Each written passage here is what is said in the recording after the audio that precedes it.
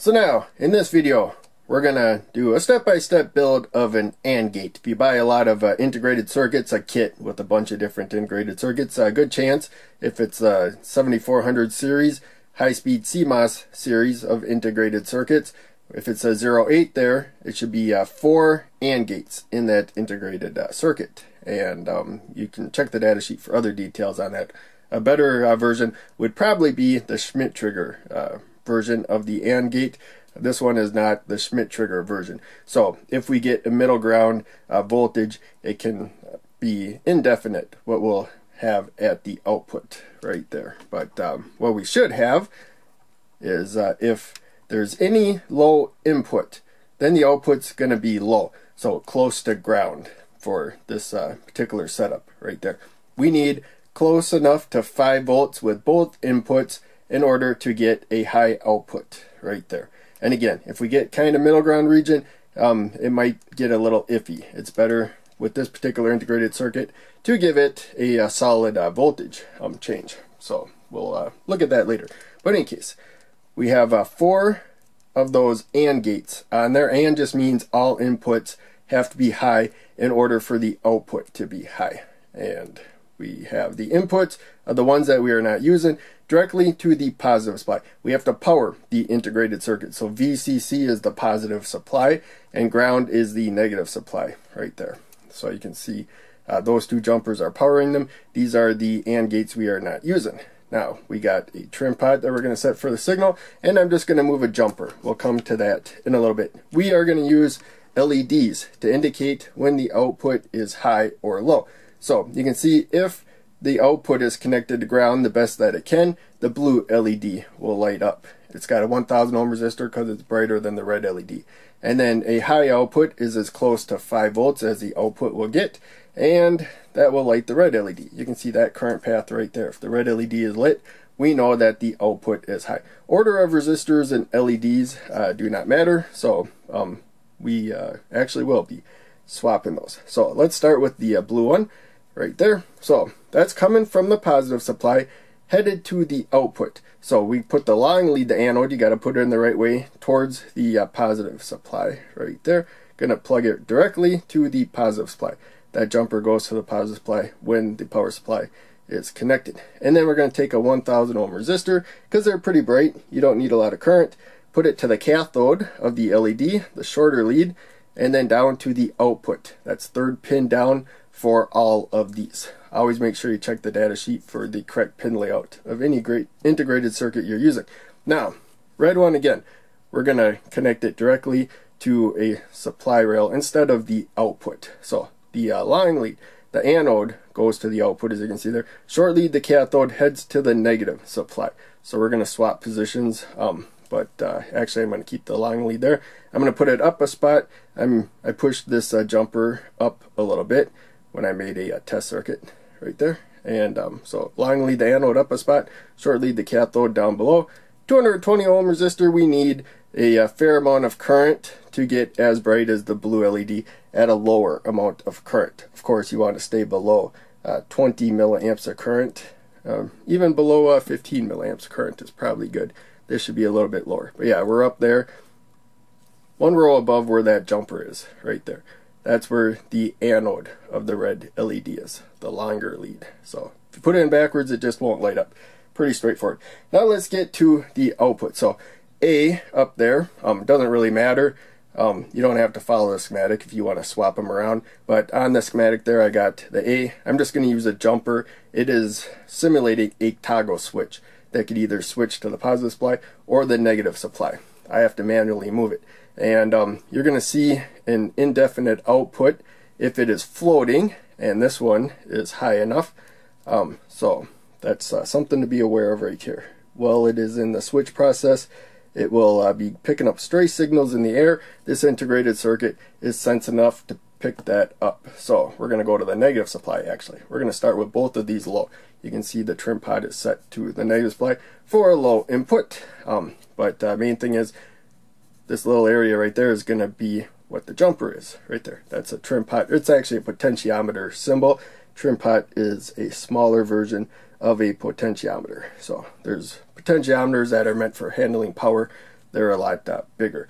And um, I think they're a lot less common now than they used to be. But in any case, that's it for wiring it up. Uh, pretty straightforward. And uh, we're going to move the power supply over.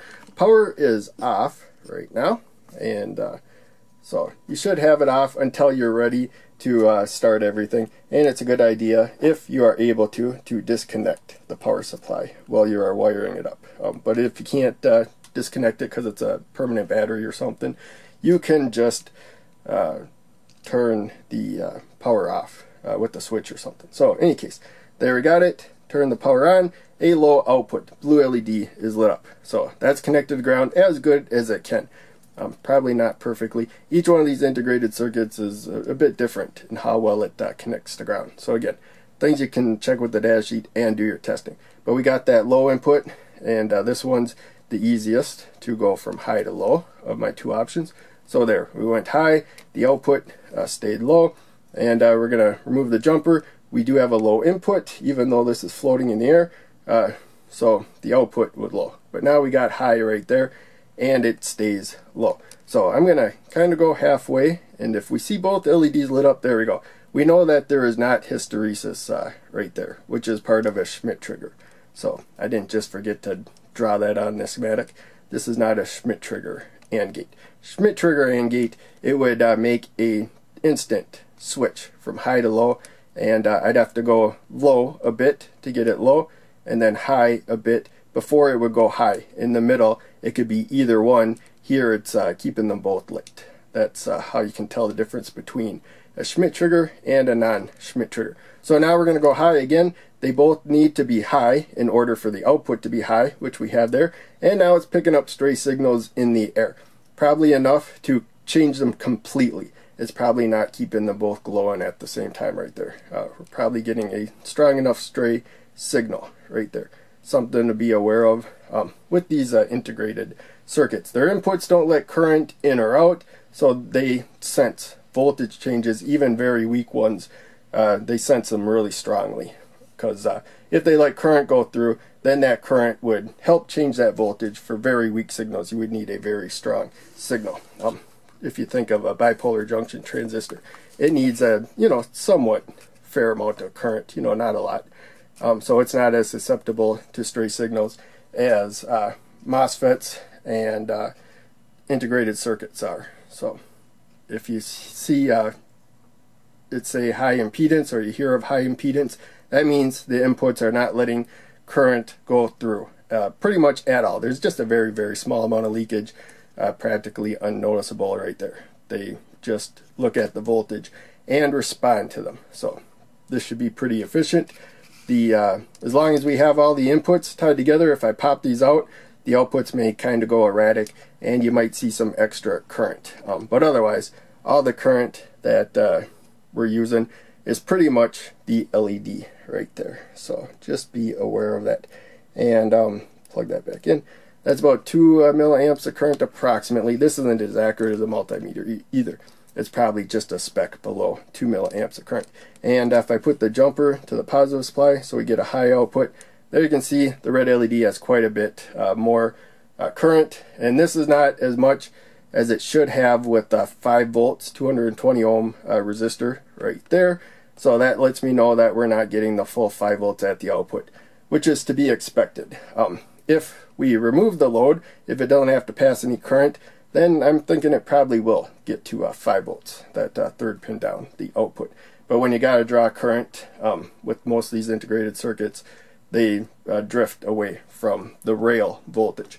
So if you need the full rail voltage, you could switch a transistor instead and have the load here, the LED, be the load of the transistor. This would just control the transistor. And then um, you would get the full voltage across the load when the transistor turns on. Something to be aware of. Um, but in any case, I made this long. It was for uh, absolute beginners for the most part. And uh, here's truth tables. There's all kinds of logic gates and other circuitry that uses truth tables. So you look at uh, what's at the inputs right there.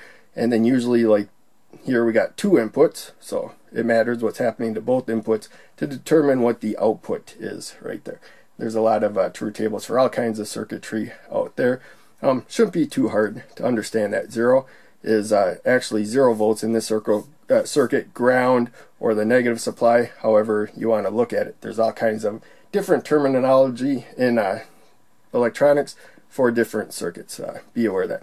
And then high is 5 volts right there. Um, it could also mean on and off and uh, all kinds of other things. There I got the uh, voltages high, low, uh, open and uh, or no, I put close oh close to uh, zero volts, close to five volts there. But you could also have on and off and other things. There's all kinds of terminology. Um, the main thing is we have two states, and uh, it's one or the other, and you give them a name depending on the circuit. So, any case, that's about it. Hope you enjoyed. Oh, um, actually, yeah, we got one more thing. So. These outputs can sink and source about uh, 25 milliamps of current, according to the data sheet. This was made in Malaysia. Um, so I'll uh, kind of zoom in. This one has writing that's easier to see. And um, so I'll just kind of show with, with the loupe, if I get the light off to the side. There we go. Because I'm kind of black and white. There, you can see it's reading. But yeah, it says Malaysia on there. So who knows, uh, you know, what factory this was made of. Uh, B, uh, and then that one after there is some kind of uh, addition maybe uh, to this. Um, but uh, main thing is we got 74 HC 08 right there. A lot of times those letters mean improvement. Maybe the package that's in the plastic package or whatever. You got to check the data sheet. But again, um, you're probably not going to find uh, who actually made this right there. It's kind of a knockoff or whatever.